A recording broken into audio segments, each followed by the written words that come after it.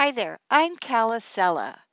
Welcome to the GIMP for Second Life presents How to Add the Tool Options dockable dialog back to your toolbox. It's very annoying when it suddenly disappears, and there's a very easy way to get it back. It's as easy as one, two, three.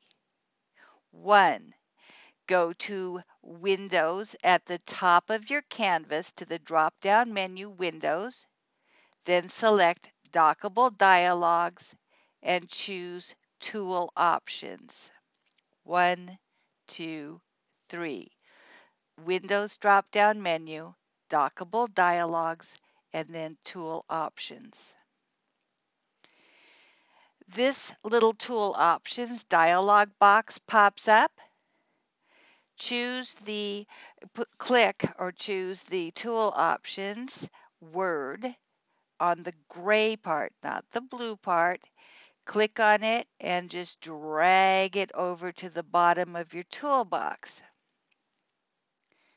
And ta-da, you now have your tool options. Thank you for listening to this brief tutorial. I hope you enjoyed it. I have several other GIMP tutorials here in YouTube and other places.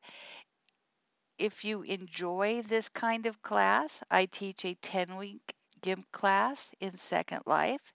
I have a group called Cali's Classes and Workshops. You can go to my store in West Haven. It's called The Perfect Gift.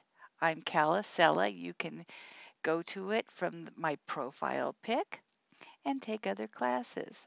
Again, thank you for listening. Bye now.